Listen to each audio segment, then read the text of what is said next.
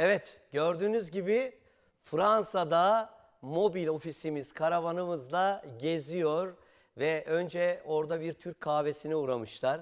Tabii ki Doğan Demir'i herkes tanıyor, Ümit Özoğlu tanıyor, ekranlardan tanıyorsunuz. Ve aynı zamanda şu anda karavanımız bir ailenin evinde, İsmi Gül ve Mustafa Güran çiftinin evinde Fransa'da. Şu anda telefondalar Ee, Sayın Doğan Temel ve Ümit Özoğlu. Bir merhaba diyelim. Alo.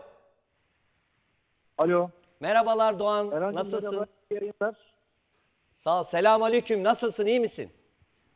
Teşekkür ederiz. Ee, burada şu anda e, İsmi Gül Hanım'ın ve Mustafa Bey'in evindeyiz. Ee, bizim burada görmekten çok mutlu oldular, memnun oldular. Onunla alakalı e, Mustafa Bey'e veriyorum. Ee, onunla görüşebilirsiniz. Tamam alayım. Alo merhaba. İyi Merhabalar. Merhabalar Mustafa Bey. Nasılsınız? Teşekkür ederim sağ olun. Siz nasılsınız? Çok sağ olun. Ee, şimdi Kara, Erhan Nacar gelmedi ama Erhan Nacar'ın yanındaki e, beraber hareket ettiği gönüldaş arkadaşlarımız geldi. Gönül verdiğimiz arkadaşlar. Nasılsınız? Memnun musunuz? Şaşırdınız mı? Araba geldi. Araç kapınızın Vallahi- önünde mi karavan? Ara, araba e, evet kapının önünde. Çok memnun oldum. Geldiler. Ee, bizim sorulara cevap veriyorlar. Allah razı olsun. Mustafa Bey, Efendim e, e, soyadınız Güran mı? Mustafa Güran. evet doğrudur. Mustafa E, Güran. Türkiye'de Türkiye'de hangi ilde yaşıyorsunuz? Yozgat Sarayken. Ya sen de bizdensin yani. E, Mustafa abicim, Efendim bu hizmet bundan sonra sizin ayağınıza geliyor. Artık uçak bileti kesip Türkiye'ye gelmenize, telaşlanıp sosyal güvenliğe gitmenize gerek yok. Orada o ofis, o araba her zaman var. Ne zaman ne ihtiyacınız varsa sizlere hizmet etmek için var. Allah sizlerden razı olsun. Arkadaşlarımıza kapınızı açtınız. Karınlarını doyurun.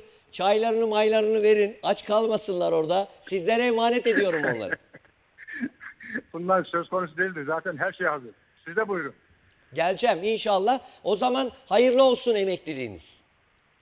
Oldu. Teşekkür ederim sağ olun. İyi Görüşmek üzere. Allah razı olsun. Görüşürüz. Yani- Şimdi sevgili seyirciler, Mustafa Güran çiftini İsmi Gül hanımefendi de, İsmi Gül Güran hanımefendi şu anda evlerinde bizim karavanımızı gördüğünüz gibi mobil ofisimizdeki sosyal güvenlik uzmanlarımızı evlerinde ağırlıyorlar. Vallahi ne yalan söyleyeyim gurur duyuyorum. Yani insan kendiyle gurur duyar mı bilmiyorum ama hayalimdi. Ee,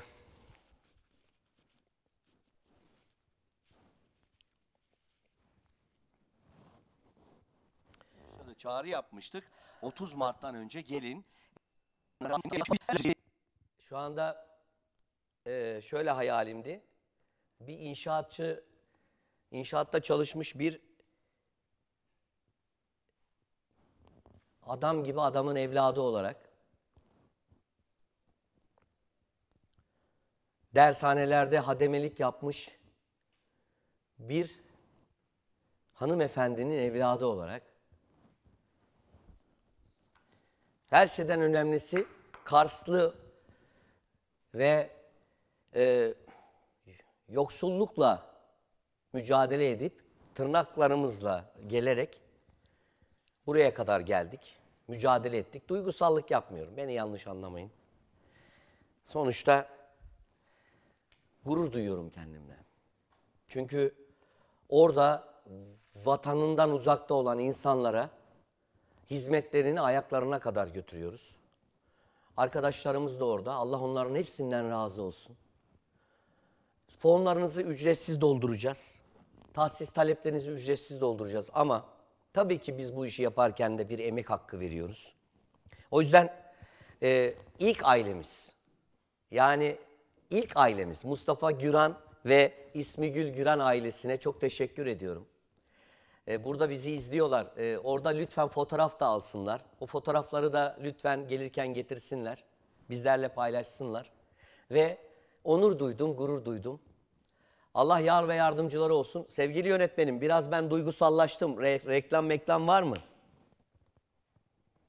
Tamam biraz idare edeyim. Peki biraz idare edeyim. Şimdi efendim, birileri diyor ki yardım alırken maaş alamazsınız. Hadi oradan demeyeyim bu sefer de. Kanununu bilirsen, kanundaki genelgelerdeki boşluğu iyi ayarlarsan, bu işin bir de duayeniysen, Avrupa'da yardım alırken Türkiye'de maaş bağlatırım arkadaş. Unutmayın. Avrupa'da yardım alanlar Sosyal Güvenlik Kurumu'nun şartlarına uygun ise ya bağlarım bakın orada ekranlarda yazıyorum. Sayın kameraman beyefendimden rica edeyim özür dileyerek hemen VTR'ye gideceğiz. Ee, tekrar reklama gideceğiz. Bakın bir daha tekrarlıyorum. Fotoğrafı da çekebilirsiniz bu arada. Benim kimseden korkum yok. Ben yalan söylemem. Ben emin olduğum hiçbir şeyi burada emin olmadığım hiçbir şeyi söylemem. Lütfen okuyun. Erhan Nacar'ın sözüdür. Avrupa'da yardım alanlar sosyal güvenlik şartlarına uygun Türkiye'de emekli maaşı alabilirler deyip siz düşüne durun. Biz bir reklam yapalım. Ben bir lavaboya gideyim, yüzümü yıkayıp geleyim. Hadi bakalım.